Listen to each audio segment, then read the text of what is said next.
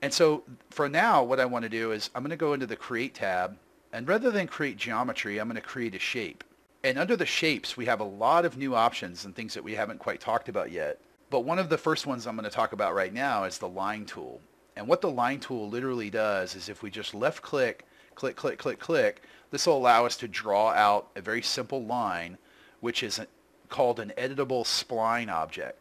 And so if we go back into the modifier attributes down here, you'll see that we have vertices, segments, and splines. And the main one that we're looking at is vertices.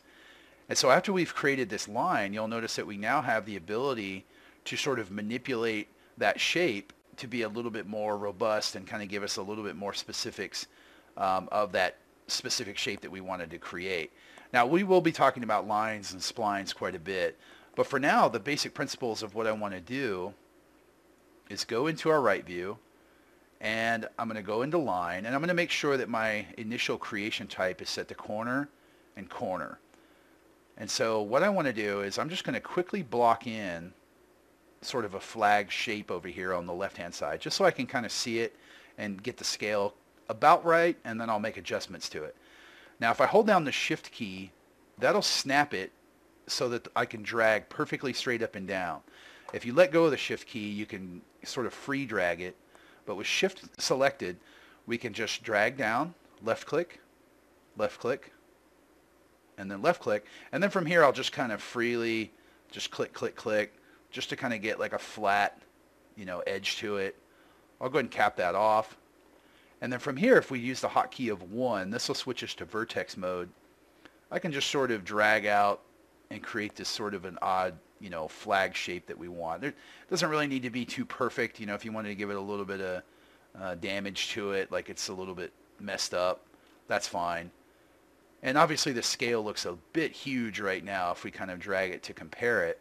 So we could probably scale it down slightly, quickly toggle back and forth between our, our vertex mode using the hotkey of 1. Just kind of block in a basic shape for now. Now back in perspective view, I'm just going to kind of eyeball that until it kind of falls right around onto that hinge. Now for right now, it's just a simple shape. It's not an actual piece of 3D geometry. And so what we want to do is we want to convert this to 3D by, let's go ahead and drag these up just a bit more, by simply grabbing the object, making sure that we have our line selected. If we right click, convert to editable poly, this will take that shape and it'll turn it into an actual flattened plane. So now at least we have a little bit of geometry that we can make a little bit more adjustments to. And this is going to work just like a traditional uh, plane or any other static mesh that we've created. And so we've got our vertices, our edges, etc. And that's a quick way to turn that you know shape that's a little bit easier to model rather than trying to go in and, and create a box or or a plane and kind of cutting it and carving it. We could just quickly throw down a shape and then convert it to an editable poly.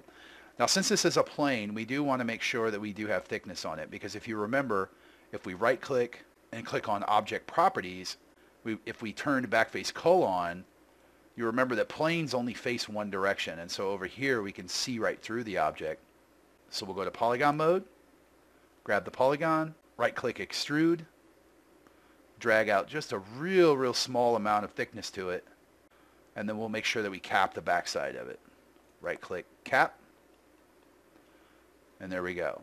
And so just to get it kind of uniform, we'll control A again, apply our material, and there we go. Now that's looking pretty good. Now there's a few more tools I want to use to kind of give this a little bit more of a realistic shape.